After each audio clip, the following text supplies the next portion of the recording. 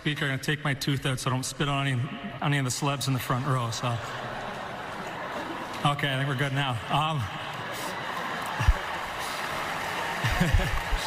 um, I want to thank the ESPYS for, for putting this on. This has been uh, an amazing couple days. The hospitality has been outstanding. Um, big thanks to the fans of St. Louis. There was uh, some dark times this year, and they stuck with us. They kept buying tickets and supporting us, and eventually we got things going and turned it around.